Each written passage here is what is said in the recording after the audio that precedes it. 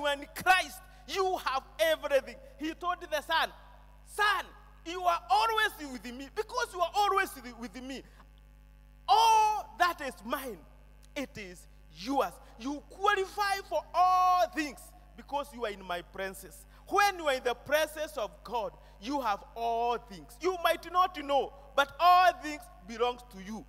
That's what the father told him. But this son, it seems like he did not know. He was not aware. This is a revelation he is getting. The father, eh, father is telling him, as long as you're in my presence, everything belongs to you. That's why I'm slaughtering a goat for a cow for this son because he was lost. He was not in my presence. So he has nothing. But as for you, because you are in my presence, you have all things. You are great. You have everything as long as you have God on your side. Can you say amen?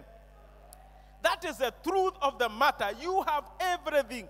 As long as you have God on your side, you have all things in the name of Jesus Christ.